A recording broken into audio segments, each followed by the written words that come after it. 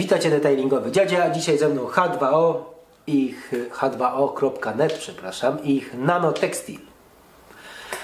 Preparat do e, zabezpieczenia e, produktów tekstylnych, e, czyli odzież, obuwie, tudzież właśnie tapicerka samochodowa. U mnie test popełniony był na trzech różnych rodzajach, rodzajach tkanin, można powiedzieć. Jednego testu nie pokazałem. To był t-shirt, koszulka, która y, już miała naście albo 10 prań za sobą i ewidentnie było widać, że są place, gdzie są, jest wyblaknięty ten kolor, gdzie ten kolor stracił swoją głębię. Szkoda, że tego nie nagrałem. Żałuję, bo powiem Ci, że bardzo fajnie ten produkt wyciąga głębię koloru. Naprawdę. Odżywia niesamowicie, ale jest też minus. Jak rozprowadzisz go nierówno, będą place. I to jest właśnie jedyny minus tego produktu. Podstawa równomiernie go rozprowadzić i teraz aplikacja tego produktu jest niby banalnie prosta, ale spryskując powierzchnię musimy to ładnie rozprowadzić. Najlepiej jakąś rękawiczką, żeby y, nie wchłaniała Ci powiedzmy, bo możesz też jakąś ściereczką, ale po co ma Ci produkt wchłaniać się w ściereczkę, którą rozprowadzić? Najlepiej rękawica i rozprowadzić to równiutko, żeby ten produkt rzeczywiście, że tak powiem, wbić y, w ten materiał. Koszulka naprawdę y, odzyskała swój pierwotny, można powiedzieć, kolor. Y, zrobił się taki soczysty. Y, widać, że ten produkt tak naprawdę jakby nawilżał tkaninę. Także rewelacja pod tym względem. Kolejna rzecz, zapach, który jest fenomenalny dla mnie. Słuchaj, tu jest tak nie jest go ciężko określić tak naprawdę, nie mogę go porównać do niczego. Taki cytrusy, kurcze, trochę herbatki, tak naprawdę bardzo, ale to bardzo przyjemny zapach. Kolejny test to był y, obuwie y, żony. Kurczę, materiał ciężko mi to określić, ale to chyba skóra. Chyba skóra, y, taki ani to zamrz, ani to skóra, ale to skóra. Skóra, no powiedzmy, że to jest produkt skórzany.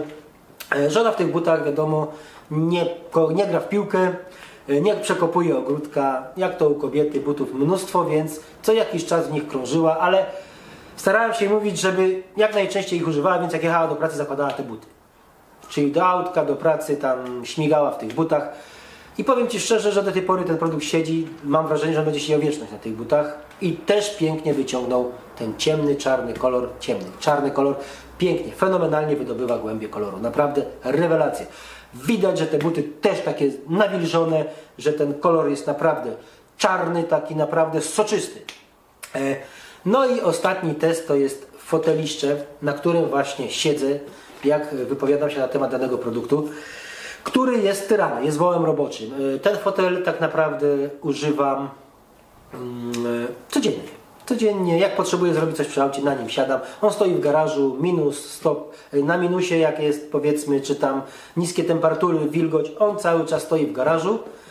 I ja go używam. On na niego się kurzy, ja na nim siedzę, tam coś robię, nieraz coś na nim położę, jak coś robię, wiadomo jak to się pracuje, to pyk, kładę coś tam, czy tam rurę od odkurzacza, więc tyra, tyra i powiem Ci szczerze, ja byłem przekonany, że on miesiąca nie wytrzyma, jeżeli chodzi o hydrofobowość i tu, kurczę, jestem miło zaskoczony.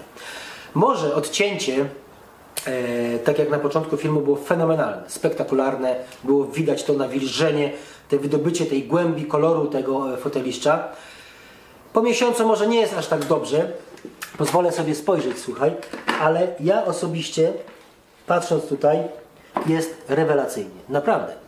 Y, Widzę jeszcze to odcięcie, że jest tutaj ciemniej i w dotyku ewidentnie czuję, że ten fotel w dalszym ciągu ma ten preparat. Y, Po miesiącu, tak jak było widać, no może hydrofobowość to nie jest tak, że on nie ciągnie w ogóle wody ale jest kolosalna różnica. Zresztą to było widać. I osuszenie, powie, powiem Ci szczerze, tego materiału, tam gdzie jest ten produkt, nanotextil, to była poezja. Tam wystarczyło mikrofibrę tak naprawdę przełożyć i woda wracała do mikrofibry. Tutaj niestety środeczek musiałem zabrać do domu, postawić przy kaloryferze, żeby odparowało. No dobrze, co do tego produktu. Yy, Dla mnie super, bardzo fajny, bardzo fajny. Sprawdzę go jeszcze w mańku na tapicerce samochodowej, będę czyścił wnętrze. Będę chciał zobaczyć, jak zachowa się na fotelu kierownika. A tutaj chodzi jak najbardziej o to, jak bardzo łapie brud.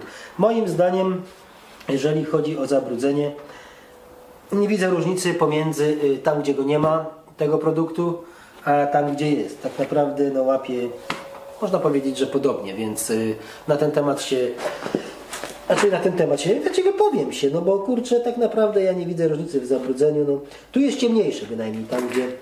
Ale myślę, że łapie chyba tak samo. Kurczę, tak. Nie wiem. Ciężko, ciężko mi się do tego ustosunkować, więc y, nie będę tutaj czarował, że y, widzę różnicę. No i nie widzę. nie widzę.